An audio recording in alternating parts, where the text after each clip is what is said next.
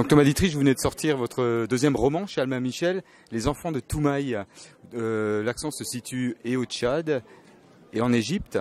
Euh, c'est une histoire d'amour entre deux personnes d'un milieu différent. Vous pouvez nous, raconter un petit peu euh, d'où vous êtes venu cette histoire?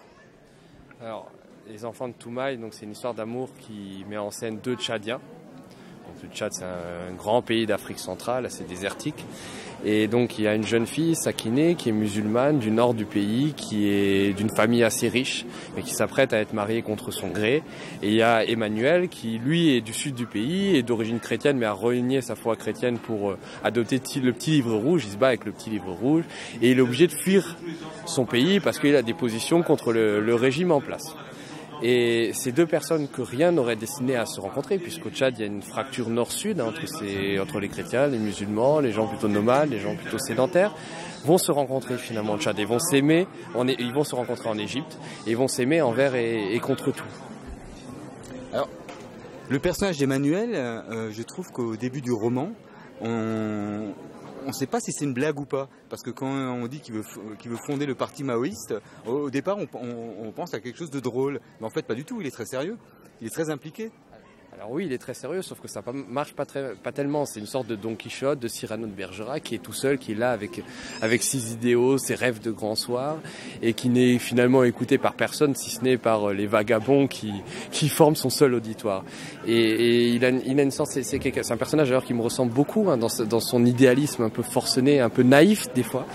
Et, il va mettre finalement, il va, il va, il va mettre autant d'ardeur à aimer Sakiné qu'il en a mis à défendre le petit livre rouge et la révolution maoïste. Non, non, c'est pas, c'est pas du tout une blague. Et vous avez aussi ces, ces personnages qui en Afrique qui ont fait dix ans d'études dans des domaines absolument farfelus, anthropologie structurale, et qui se retrouvent, et forcément, il n'y a pas de demande sur le marché, qui se retrouvent à un carrefour quasiment SDF alors qu'ils ont fait des grandes études. Donc c'est ces personnages-là que je voulais mettre, euh, mettre en scène. Alors, euh, on l'a compris, vous avez une grande connaissance du Tchad, c'est un pays que vous connaissez bien. C'est un pays que je connais bien. J'étais jusqu'à la semaine dernière où j'étais, d'où j'étais expulsé pour, pour, pour, activisme politique, puisque il y a actuellement au Tchad une, dictature qui sévit depuis, depuis 26 ans d'ailleurs avec le soutien de la, la France. Et euh, c'est un pays aussi avec des, j'ai des liens très personnels très forts. J'ai bien, j'ai bien connu ce pays-là. Le Tchad, le Tchad, c'est un carrefour. C'est un, c'est un pays qui se, voilà, que, que les gens ne situent pas souvent bien sur la carte et tout ça, qui est un pays, on croit qu'il y a que des guerres, alors que c'est pas que ça. Il y a vraiment une imbrication entre le Sahara et aussi l'Afrique subsaharienne. Donc c'est qui se rencontrent. Il y a un mélange des populations. Ça crée aussi des formes de racisme, puisque le racisme, c'est pas qu'entre les blancs et les, les noirs, les jaunes et les noirs. Ça peut être aussi à l'intérieur de l'Afrique. C'est de ça dont je parle. Ça veut dire racisme de gens qui ne veulent pas que un, une personne épouse leur fille. C'est voilà, c'est important. Et effectivement, ce pays-là est un très très beau pays, est un, est un très grand pays. J'ai voulu aussi lui rendre hommage à, à travers ce livre. Alors, c'est vrai qu'il y a toute cette connotation politique euh, autour euh, du roman, mais en même temps, votre histoire d'amour, elle est extraordinaire. Euh, est, vos personnages sont, sont, vraiment des personnages très forts, auxquels on s'attache rapidement. On, on, suit leur destin qui est très très compliqué dans un pays qui est pauvre, dans un pays où justement où les femmes n'ont pas beaucoup de droits, mais ils choisissent envers et contre tout euh, d'être libres. On parle souvent de Roméo et Juliette africain, mais c'est Roméo et Juliette, avant de se rencontrer, ils sont plutôt bien, ils vivent dans un milieu aisé, ils sont libres. Alors que là, il y a un personnage, une jeune fille qui, s'apprête à être mariée de force, et un, et un jeune homme qui va être expulsé de son, qui doit fuir son pays parce qu'il lutte contre la dictature. Donc c'est une histoire de deux miséreux qui, voilà, qui vont migrer d'ailleurs vers l'Égypte. C'est aussi une histoire de migration, mon livre, et qui vont se trouver l'un l'autre, et qui vont trouver par, et qui vont s'aider à trouver la liberté, à trouver la dignité. Donc voilà, c'est une histoire d'amour qui libère. C'est pas une histoire, c'est pas on parle souvent des grandes histoires de passion qui asservissent, qui détruisent. Ben là, c'est une histoire qui c'est une histoire d'amour qui libère envers et contre tout.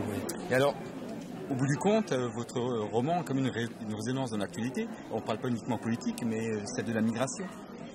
Oui, et mon, but dans ce roman, c'était de montrer que la migration, c'est pas un, on part pas d'un point A qui est le pays d'origine, par exemple le Tchad, pour arriver à un point B qui est l'Europe. Il y a tout un parcours entre ça. Il y a des, des gens qui des fois qui s'arrêtent parce qu'ils n'ont plus d'argent pour continuer, parce qu'ils trouvent des opportunités. Et je parle de l'Égypte, c'est un, un, un point de passage obligé pour la migration. Et vous avez beaucoup de migrants subsahariens qui vivent en Égypte, d'ailleurs qui dorment dans les cimetières parce que la précaution démographique est telle qu'il n'y a plus de place où se loger, où les gens n'ont plus assez d'argent pour se loger. Et donc voilà, je voulais, parler de ces parcours migratoires qui paraissent un peu, qui paraissent très chaotiques en apparence, mais aussi qui sont dictés par, les nécessités, par le fait que ces gens-là n'ont rien quand ils partent et, n'arrivent pas forcément au but qui est de rejoindre l'Europe et et de s'y établir.